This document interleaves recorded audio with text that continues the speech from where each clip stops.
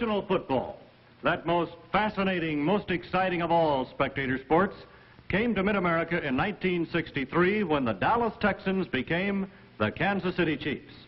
The men behind this history-making move were Lamar Hunt, owner of the Texans, and Jack Steadman, his general manager. It was Hunt who in 1960 founded the American Football League, bringing the thrills and color of professional football to areas most of which had never seen the spectacular game. Hunt's team, the Texans, became an artistic success.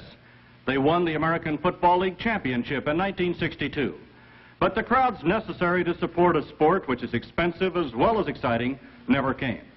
It was for this reason that Hunt listened when Kansas City's civic leaders, men like former Mayor H. Roe Bartle, banker Ray Evans, and Chamber of Commerce executive Bill Dower, suggested that he move his team to Mid-America. No owner, no team, nothing was ever courted with more zest and enthusiasm than were Hunt and the Texans.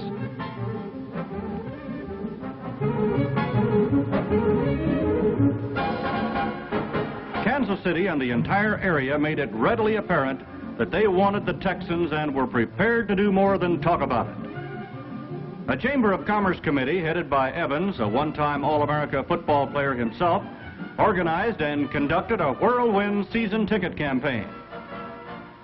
With the aid of hundreds of volunteer workers, the drive was an overwhelming success, and Mid-America had its professional football team, the Kansas City Chiefs.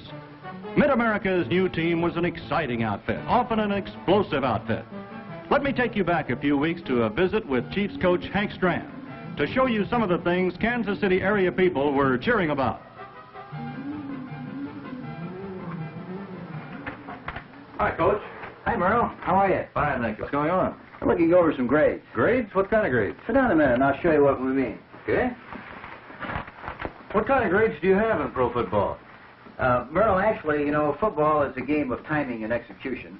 And uh, so we take films and grade each particular player on every play that he participates in in a game. Mhm. That way it gives us a, a further knowledge of the execution and timing, and uh, if there are any corrections to be made, why we can make those corrections because of what we see in the film. Very good. As long as we're sitting here, why don't uh, you join me in watching a little bit of this execution and timing? I'd love to. Film. Very good.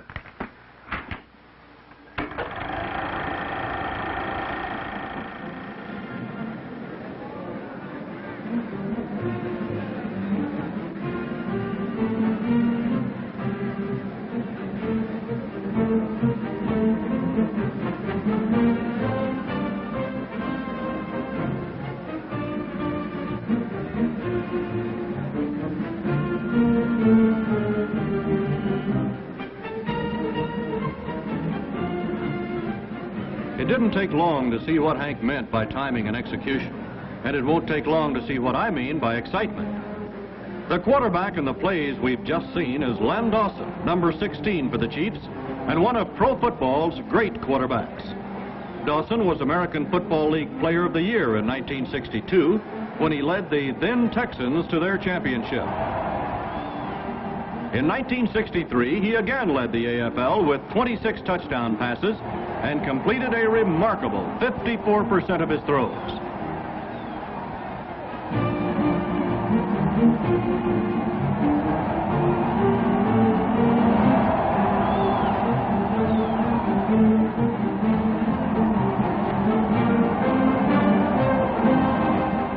Possibly the coolest of all American League quarterbacks, Dawson is almost as dangerous when he is forced to run as when he throws.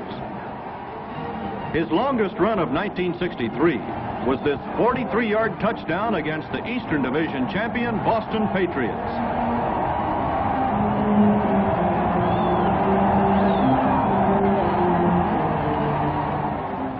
Len Dawson's longest pass play of the year was an 82-yard strike to Frank Jackson against the New York Jets. Jackson, number 26, used as a flanker for the first time in 1963, was an almost instant success.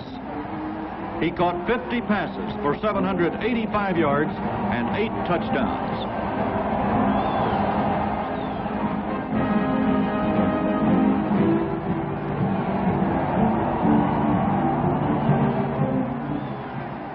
In addition to his 82-yard catch and run against New York, he had an 81-yard TD against Denver, the two longest scrimmage plays of the Chiefs' season. Jackson was used as a ball carrier only three times, and on this reverse went for a touchdown against Denver.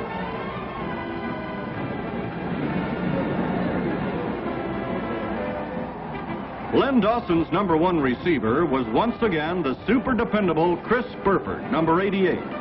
Burford, who makes the pressure catch look routine, grabbed a career high 68 passes for 824 yards and nine touchdowns.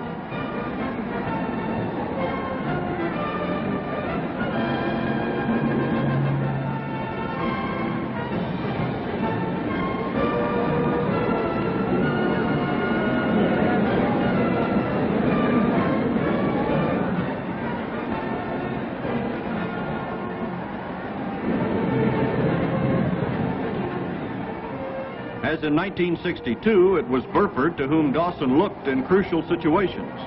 A notable example was a desperation drive against the Buffalo Bills, which resulted in a 27-27 tie with the Eastern Power.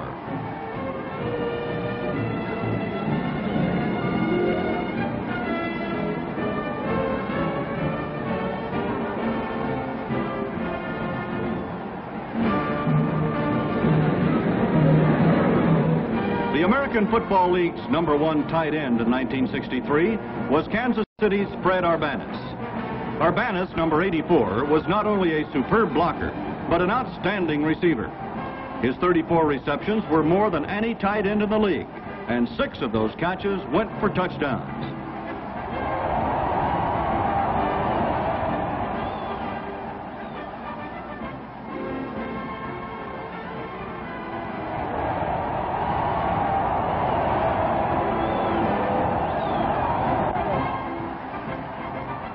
All-league selection at the conclusion of the season, the 6'3", 241-pound Arbanas appears destined for a long tenure as one of the AFL's outstanding stars. Tommy Brooker, the field goal kicking star of 1962, and Dick Johnson provided top-notch support for the three leading receivers, as did backs like Curtis McClinton and Abner Haynes, although their primary duties called for more running than catching.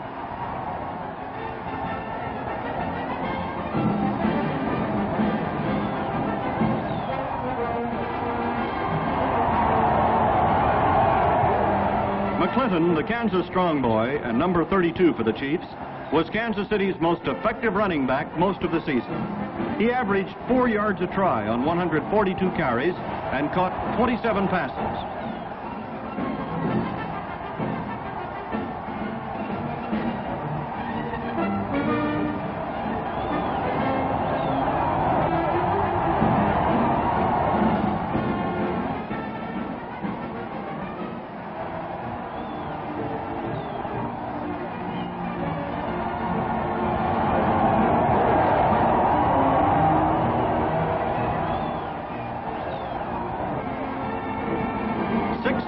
A McClinton runner pass reception resulted in a touchdown. And the count even grew for one touchdown.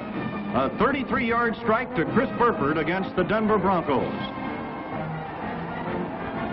Abner Haynes, number 28, and the most heralded of all Chief stars, scored six touchdowns, caught 33 passes, and averaged nearly four yards on 99 carries.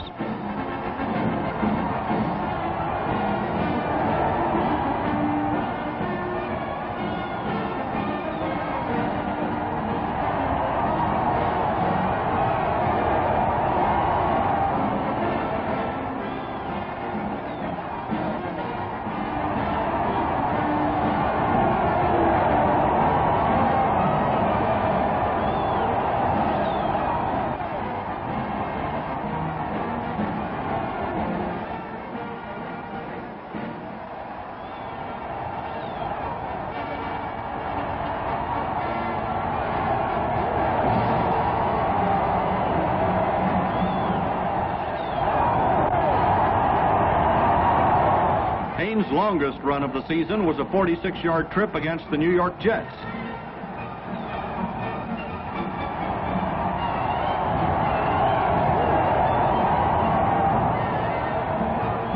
He went 73 yards against the San Diego Chargers with a Dawson pass on his longest play of the season.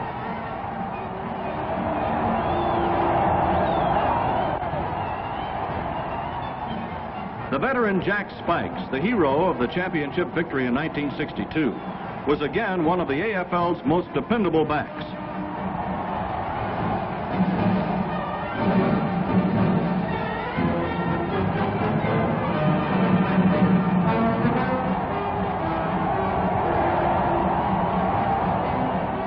A good blocker as well as a runner and receiver, Spike's contribution was a great, if sometimes underrated one. These were the workhorses among the Chiefs' running backs, but some of the most outstanding work came from others like ex-Kansas Jayhawk Bert Coan, number 22, who went 51 yards against Houston on the Chiefs' longest running play of the year.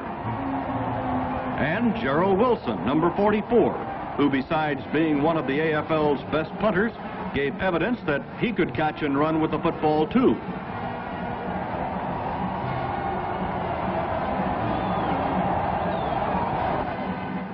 Len Dawson's understudy was again Eddie Wilson, and the second-year quarterback from Arizona really earned his spurs in 1963. Eddie, number 12, completed 20 of 32 passes for 258 yards and two touchdowns in a starting assignment against the Patriots. The Eastern champions and the Chiefs tied 24-24 in the thrilling contest in Boston. That's the chief story as far as the offense is concerned, except for the group which is perhaps the most important of all, the offensive line. Two-time All-League tackle Jim Tyrer, a 6'6", 291-pounder. Rookie tackle Dave Hill, and guards Ed Budde and Denny Biodrowski. Guards Al Reynolds and Marvin Terrell, and utility man Curt Merz, and the center John Gilliam. When the Chiefs' offense was good, these men were as responsible as the Dawsons and the Burfords. Defensively, the 1963 Chiefs were among the best anywhere. Hank Stram's front line had size and depth. Veterans Jerry Mays, number 75, and Mel Branch, number 87, were the anchor men.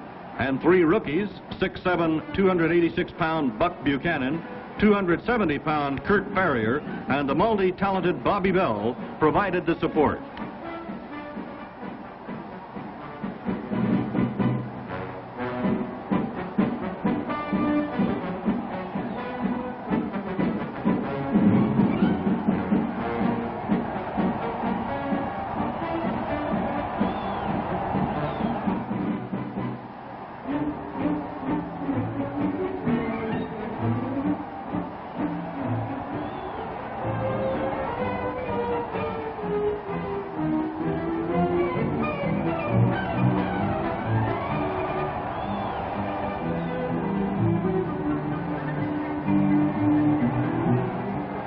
The Kansas City linebacking featuring all-league E.J. Holub was tremendous.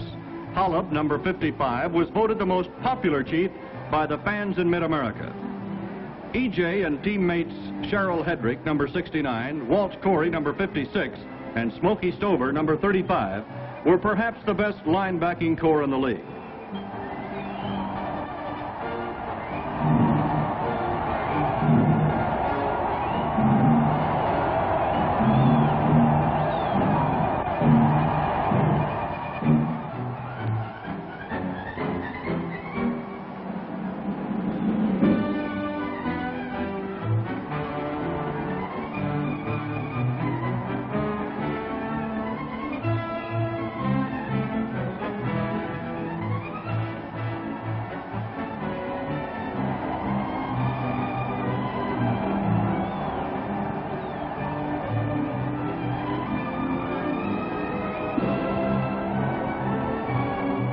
The Chiefs secondary, Johnny Robinson, Bobby Hunt, Duane Wood, and all AFL Dave Grayson and alternate Bobby Ply worked as a unit for the second straight year and was one of the AFL's stingiest. The only newcomer was promising Charlie Warner. The anti-pass platoon had 26 interceptions. Bobby Hunt was the leader with six, and Holub and Grayson had five each.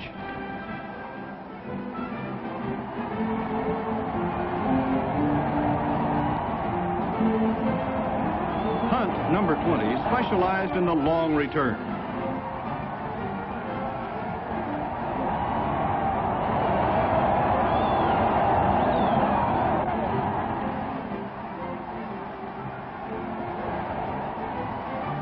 He got back 66 yards to the Denver one on this return.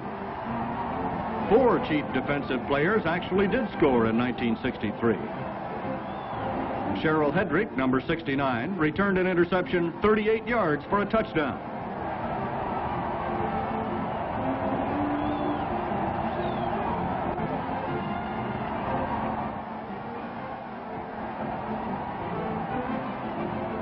Dave Grayson went 99 yards with the Denver kickoff.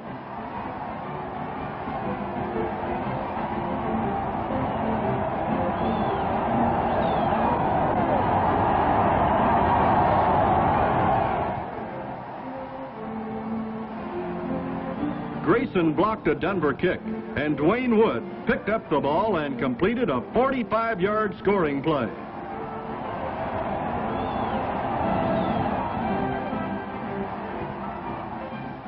And Jerry Mays, number 75, grabbed a New York Jet fumble and sprinted 58 yards in the season's finale.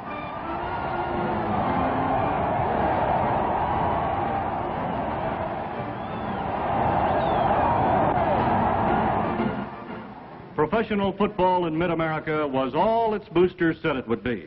It was exciting, often spectacular, never dull, and the future for the Kansas City Chiefs, unlimited. But wait, let's go back to Coach Stram's office and let him tell you. Or the great run of Jerry Mays in our last game against the New York Jets. It's always a thrill, and it's really and truly a, a wonderful game. How about the future, Hank? How do the Kansas City Chiefs look to you in 1964? Merle, actually, you know, I can't help but feel optimistic and enthusiastic about our 1964 squad. As you know, we have an outstanding core of uh, veterans returning, plus the fact that we have done an excellent job of signing young people for the coming season. Namely, Pete Beathard, the, the outstanding quarterback from Southern California, two outstanding tackles from Pittsburgh by the name of Ernie Borghetti and John Maczuzak. Then there's halfback Joe Auer from Georgia Tech and another fine halfback Preacher Pilot from New Mexico State and a real fine defensive end by the name of Ed Lothamer from Michigan State. That's right, and uh, that gives you a pretty good idea of the kind of balance we will have between our veterans and rookies. Uh, I'm sure, without a doubt, that the people of Kansas City will really enjoy watching this team play. And while I'm talking about Kansas City, Merle, I'd like to inject this little bit about the fact that we are deeply appreciative of the way the Kansas City people turned out for our games last year. Uh, it was just very heartwarming, and uh, we're going to do everything we possibly can in 1964 to justify the confidence and loyalty that they showed our club last year. Kansas City is a great area, and uh, they deserve a great football team, and we're going to do everything we possibly can to be that kind of a football team.